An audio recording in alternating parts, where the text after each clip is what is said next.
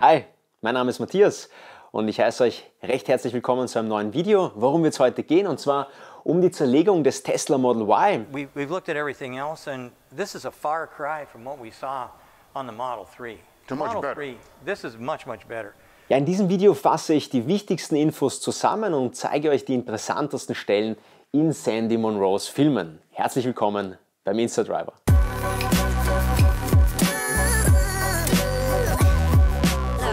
Alright, ja, bevor wir loslegen, möchte ich noch eine kurze Umfrage starten. Ähm, bist du bereits Elektroautofahrer?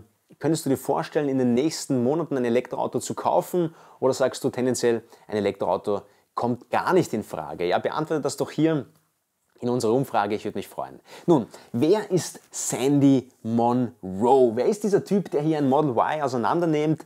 Auseinandernimmt, ist das legitim? Hat der wirklich was zu sagen? Nun, wer jetzt denkt, dass hier ein weiterer Tesla-Fanboy vor uns steht, der einfach sein neues Model Y auseinandernimmt, den muss ich enttäuschen. Denn, also lustigerweise, ich habe äh, Sandy Monroe das erste Mal kennengelernt, als er sein Urteil über das Model 3 abgegeben hat. Und das war vernichtend.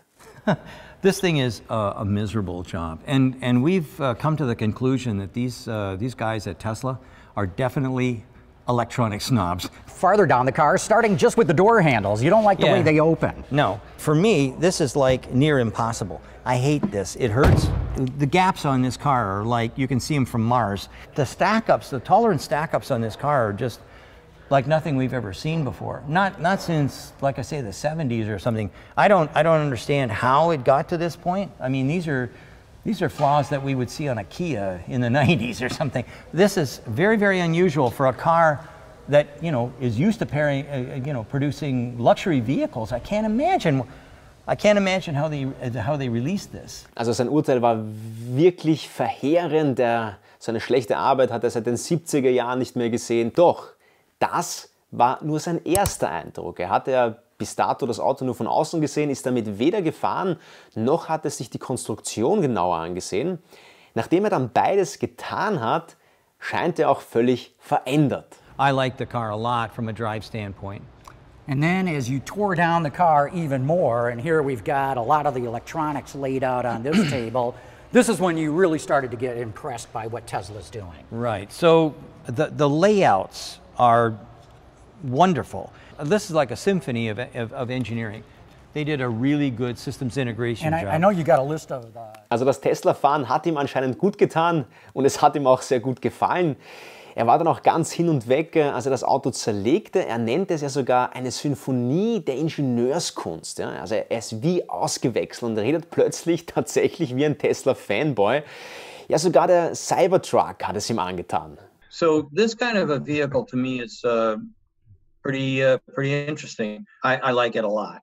Übrigens, CNET hat gerade Zahlen des äh, Owners Club von Cybertruck veröffentlicht, wonach mittlerweile 622.000 Personen einen Cybertruck reserviert haben sollen. Ja, Im November, ähm, nach dieser spektakulären Präsentation, ein paar Wochen danach waren es so 250.000 meines Wissens nach. Also da tut sich was. Kommen wir zurück zu Sandy Monroe. Also echt witzig, wenn man so sieht, diese 180 Grad Drehung, die er da durchgemacht hat. Doch dieser Typ ist nicht irgendein Typ, sondern dieser Typ hat Credits. Ja? Was er in die Hand nimmt oder was er zerlegt, das hat auch Hand und Fuß. Ja? Monroe ist ein Autoindustrie-Veteran und mittlerweile CEO von Monroe Associates. Das ist eine führende Beratungsfirma, wenn es um Produktionsprozesse geht, also schlanke Produktion und systematisierte Produktionsorganisation. Also im Grunde ruft man Monroe an, wenn man etwas auf die effizienteste Art und Weise bauen will. Und nun hat er sich das Model Y vorgenommen und zerlegt es. Ja. Wie er selbst sagt, hat er das Fahrzeug nicht von Tesla bekommen, sondern hat sich ganz normal gekauft, das heißt, um seine Glaubhaftigkeit hier zu behalten. Beim ersten Rundgang zeigte sich diesmal auch schon recht angetan. Er entdeckt zwar einen ungeraden Spalt bei den Rückleuchten hinten rechts, findet die Maße aber insgesamt gelungen. Verbesserungsbedarf sieht Monroe aber dennoch. In einem weiteren Video geht Monroe der Fertigungsqualität näher nach und stellt gleich fest, dass eine Befestigung der Frank-Abdeckung abgebrochen ist. Als er das Teil dann runternimmt und wieder anklipst, schließt der Frank nicht mehr richtig. Ja, es hat ihm auch niemand gesagt, wie man die Frank-Haube eines Teslas richtig zumacht.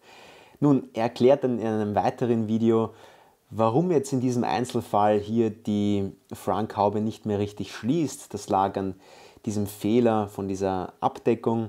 Die Abdeckung kommt an der Fronthaube an und deshalb schließt sie nicht mehr richtig. Es dürfte sich aber hier um einen Einzelfall handeln und nicht um einen Serienproduktionsfehler. Ja, auf der Hebebühne geht Monroe dann auf die Aufhängung ein und vergleicht sie auch mit dem vom Model 3. Tesla wollte ja so viele Teile wie möglich vom Model 3 verwenden, um die Produktion zu beschleunigen und auch zu vergünstigen. In meiner Übersicht über die besten Elektroautos 2020, ich verlinke euch das da oben, gehe ich auch kurz auf das Thema ein, dass Elon Musk am Ende dann sich doch entschieden hat, die Model Y, also das Model Y auf der Plattform des Model 3 zu basieren. Was wir aber jetzt sehen, ist, dass gewisse Teile dennoch verbessert wurden, sowohl in ihrer Qualität als auch in ihrer Effizienz des ganzen Produktionsvorgangs. Wir sehen das anhand äh, dieser Aufhängung. Am Tisch liegt die Aufhängung des Model 3. Beim Stoßdämpfer sieht man, wurden hier zur Befestigung solche Bänder verwendet. Wenn wir uns das dann im Model Y ansehen, sind dort jetzt zwei Schrauben. Die Aufhängung ist im Ganzen ein wenig anders, aber Monroe wird auf das sehr viel genauer eingehen, wenn er sie komplett auseinandergenommen hat. Die Hinterradaufhängung sieht sehr ähnlich aus wie im Model 3. Bei genauerer Betrachtung sieht man auch auf den Querlenkern auch noch die Model 3 Beschriftung. Diese kommen also direkt von der Produktionslinie vom Model 3. Was auch ein smarter Move ist, meint Monroe. Ja, bei der Verkabelung ist Monroe aber hin und weg und er spricht großes Lob für Tesla aus, denn die Niedrigspannungskabeln, die sind komplett mit einem Kabelschutzschlauch umgeben, also sie sind vollkommen eingehüllt. Normalerweise sind diese ja im besten Fall teilweise mit Isolierband abgeklebt oder hier und da eben mit so einem Kabelschutzschlauch umgeben. Aber eben nie komplett. Und Monroe meint, er hat sowas noch nie gesehen bei keinem anderen Hersteller. Die Kabel sind extrem sauber verlegt, exakt platziert und eben umhüllt mit diesem Kabelschutzschlauch, wodurch es nie zu einem Kurzschluss kommen kann, meint Monroe. Unter Anführungszeichen würde ich diese Aussage dennoch belassen. Außerdem bilde ich mir ein, dass ich diese Schutzschläuche beim Model 3 auch gesehen habe, aber ich bin mir eben nicht sicher, ob diese wieder nur teilweise waren oder eben auch komplett umhüllt. Weiters gibt es äh, Schnellkupplungen, um sicherzustellen, dass Flüssigkeiten ordnungsgemäß abgedichtet sind und nicht auslaufen. Diese sind zwar teurer, aber eben viel besser, meint Monroe. Er ist ein Riesenfan davon. Monroe zeigt uns auch äh, den Bremssattel, wo Tesla oben steht. In Wirklichkeit handelt es sich aber um ein Produkt von Brembo. Ja, er sagt auch, dass Tesla bereits einige Ratschläge seines Unternehmens äh, erfolgreich umgesetzt hat, zum Beispiel diese Kofferraumkomponente. Im Model 3 war das noch weitaus komplizierter mit einem Aluminiumstück und hier ist es äh, eine einteilige Komponente, die durchaus besser funktioniert. Ja, Monroe will das ganze Auto bis zur letzten Schraube zerlegen. Er ist gerade dabei. Ihr könnt das auf seinem YouTube-Kanal verfolgen. Ich verlinke euch das in der Beschreibung unten. Er will dann auch einen vollständigen Bericht des Model Y anfertigen und einen detaillierten Vergleich zum Model 3 geben. Ja, wir bleiben gespannt. Der CEO von Tesla, Elon Musk, sagte ja mal, dass die Verkabelungsarchitektur von Tesla in Zukunft revolutionär sein soll ja, oder sein wird.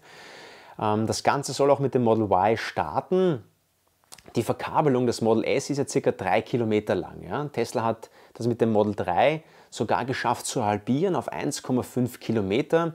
Aber das soll eben erst der Anfang sein, meint Elon Musk. Die zukünftige Verkabelungsarchitektur des Model Y, hat er damals gesagt, soll auf 100 Meter reduziert werden. Und das wäre tatsächlich revolutionär, gerade im Vergleich, wenn man sich andere Autobauer ansieht.